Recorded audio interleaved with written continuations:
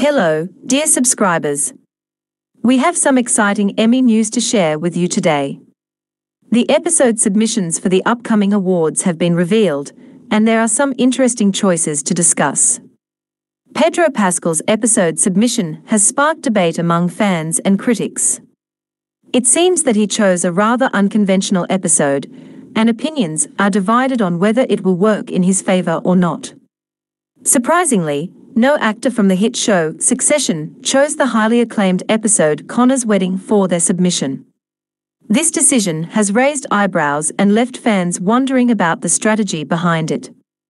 On a positive note, James Marsden's episode submission has caught the attention of many, and there's a chance he might come out on top.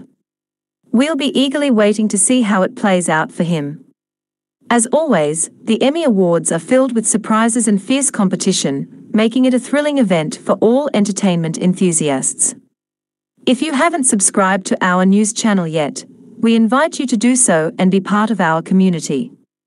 Help us spread the word by sharing our content with your friends, and don't forget to hit the notification bell so that YouTube can keep you informed about our latest updates.